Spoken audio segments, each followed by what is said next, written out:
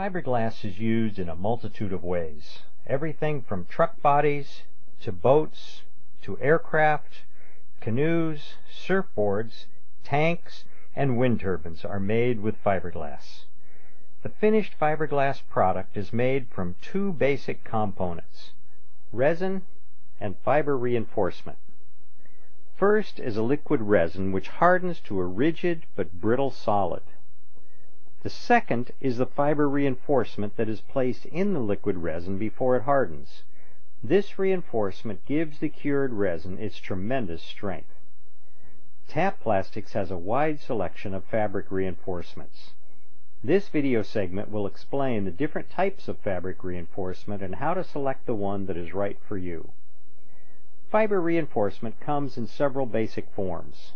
The first is cloth which comes in widths ranging from 1 inch to 50 inches. The word cloth accurately describes its woven appearance. Mat is identified by strands going every which way.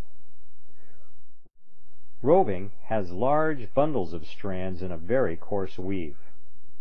And Knytex, which is a combination of short strand mat and long strand roving. When selecting a fiber reinforcement, there are four characteristics to consider. All of these are critical and are not presented in the order of importance. They are weight, strand direction, weave, and fiber composition. Let's look at these four in detail. The first is weight. The amount of reinforcement in a fiberglass product determines its strength. The more reinforcement, the more strength. Obviously, this fabric will not be as strong as this fabric because it has less material. In order to compare reinforcements, they are measured by their weight in ounces per square yard.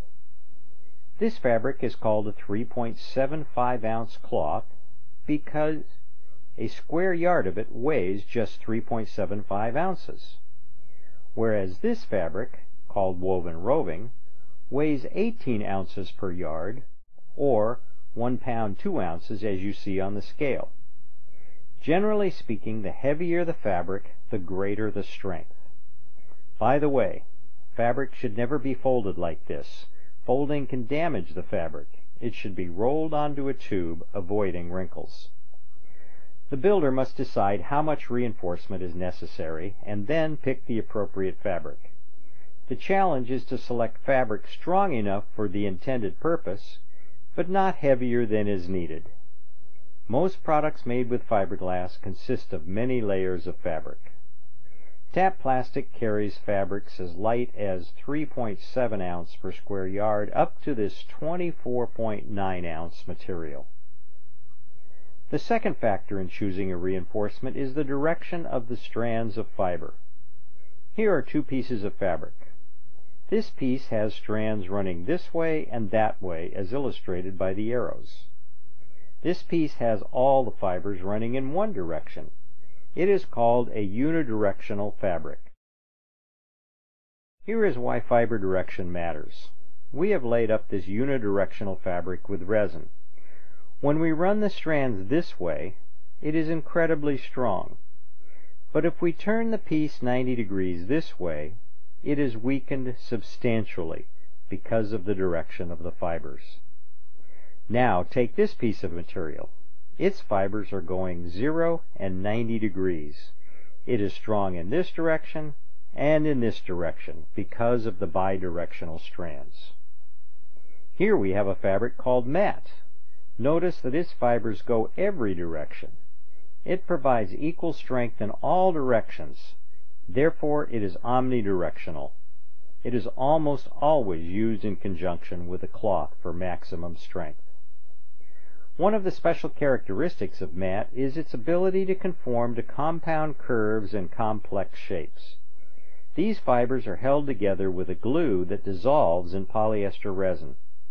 When that happens, the fibers behave like paper mache and conform to shapes that most cloth could not do. The third feature of a fabric is its weave. By that we mean the pattern the threads are woven in. Here are two pieces of 9 ounce cloth. They are the same weight, same material, same fiber direction. But they are different. Here we see what is called a plain weave. If you look closely, the threads go over and under every strand. The thread direction is 0 and 90.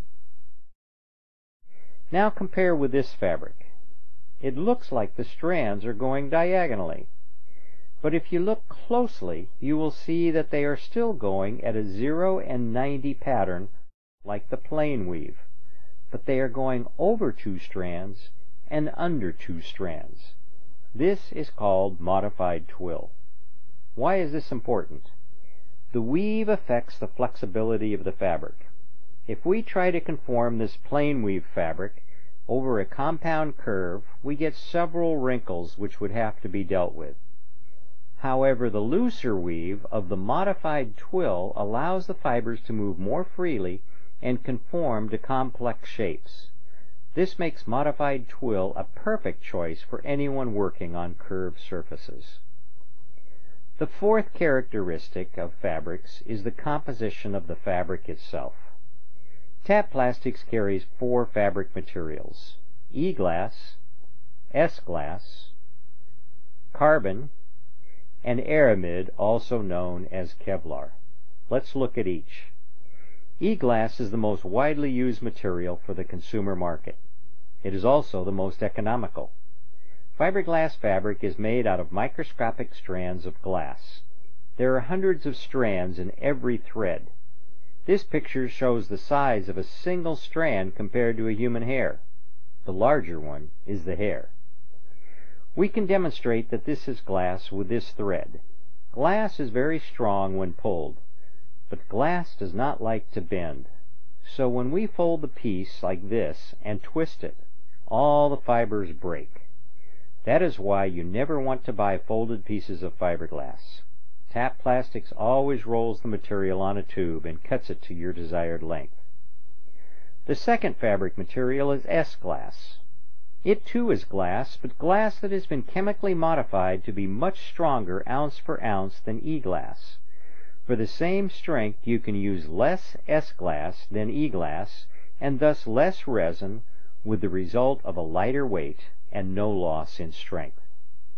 S-glass comes in a 30-inch width, which is ideal for high-performance surfboards, where both lightweight and high strength are critical. The third kind of fiber is carbon or graphite. It is easily recognized by its black appearance. Carbon fiber offers extreme rigidity with minimal weight. Because of its light weight, it is used to make military and commercial aircraft, competition sailboats, wind turbines, and even high-performance bicycle frames. The fourth kind of fabric is aramid, with the common brand name of Kevlar. It has extreme impact resistance and is appropriate for locations with that need to withstand such forces. By selecting the proper weight, fiber direction, weave, and fabric composition, you can produce the best performance with the least weight. Tap Plastics has the materials you need. Tap Plastics, the fantastic plastic.